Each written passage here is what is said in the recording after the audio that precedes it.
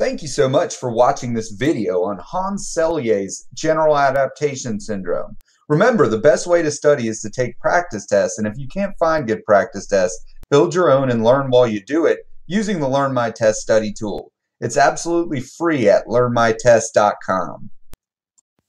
Try a practice test that I made using the Learn My Test study tool by clicking on the link in the description.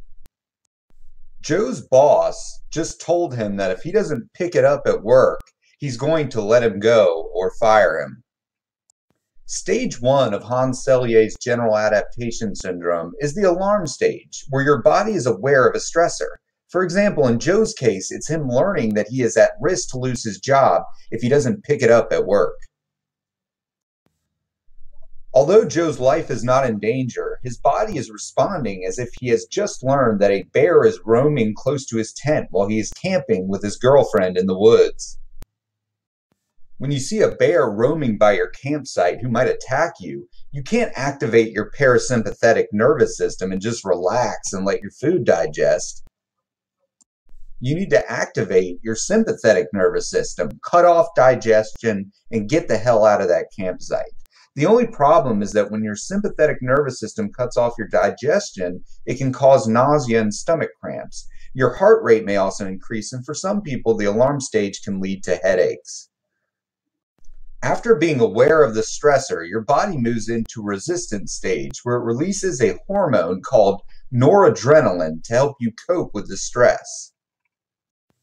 Joe feels back to normal now, the noradrenaline is helping him get focused on his work and dealing with the problem.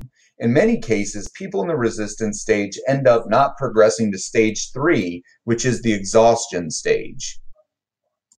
The exhaustion stage is when all the body's resources, such as noradrenaline, are depleted and the parasympathetic nervous system is now forced to be activated.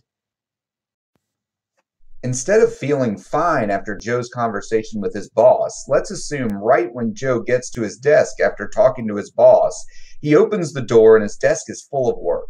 He has way more work than he could ever finish in the time his boss wants him to finish it. And Joe goes back into the alarm stage and then the resistance stage again before he could fully recover from the conversation with his boss. During the exhaustion stage, people may feel very tired like they have little energy to get through the day.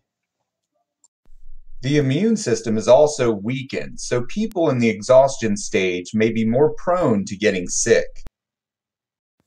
General adaptation syndrome does bear similar resemblance to common psychological ailments. For example, the alarm stage can be associated with anxiety.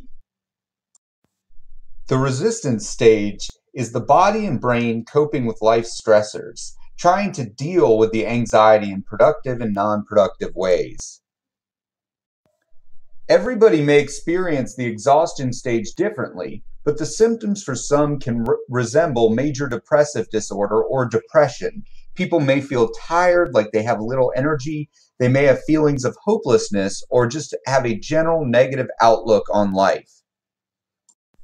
Anxiety, which I compared to the alarm stage, is associated with worries, headaches, stomach cramps, gastrointestinal symptoms like nausea and gas, along with increased heart rate. Depression is associated with the exhaustion stage, feeling tired, dietary changes, sleep disturbances, hopelessness, and a 1.5 to 2 times increased risk of heart disease.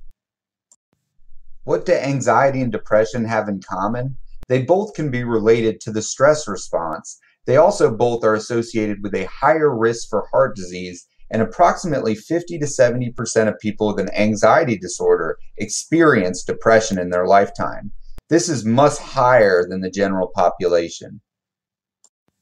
It should be noted that people with co occurring anxiety and depressive disorders are at a three times increased risk for heart disease when compared to the general population. So there is a possibility that Joe, after being exposed to all these stressors, may enter the exhaustion stage and end up falling into a depression. Cardiologists Friedman and Rosenman made a hypothesis that people with certain personalities tended to have worse outcomes when it came to heart disease and decided to test it. They were able to identify two personality types. Type A personalities are people that respond very strongly to stressors. They act out in anger and express overt aggression to others. On the other hand, type B personalities respond calmly to stressors and appear more relaxed and happy-go-lucky. Friedman and Rosenman discovered that type A personalities were more likely to have adverse cardiovascular events than type B personalities. This suggests that people's personalities, specifically how they respond to stressors, can affect their cardiovascular health. It's not just people's personality and how they individually respond to stress. Some people are just exposed to a lot more stressors than others. Abraham Maslow created a pyramid of our hierarchy of needs, things we need to be happy or fulfilled in life. Maslow argued that whatever need was not fulfilled in that person's life was the focus. People who are dealing with stressors on the bottom of the pyramid are going to find it a lot more difficult to cope with their stress when they are worried about food or safety. I'm sure that even our type B personality, who is cool, calm, and collected all the time, would probably not be so cool, calm, and collected if he did not know where he was sleeping or his next meal was coming from. So Joe actually ended up getting fired from his job, unfortunately.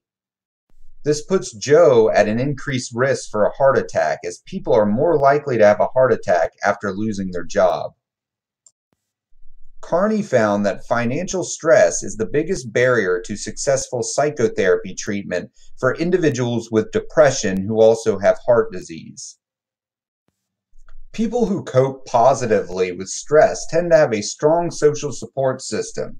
Hopefully, Joe will be able to lean on his family for support after getting terminated. Ziegelstein suggests that Exercise is also a positive coping strategy for stress and protective against heart disease, along with a healthy diet and lots of fruits and vegetables. Thank you for watching this video. If you liked it, please hit the like button. Subscribe to stay up to date on our most recent videos. Also, click the link in the description to take a practice test that I made using the Learn My Test study tool.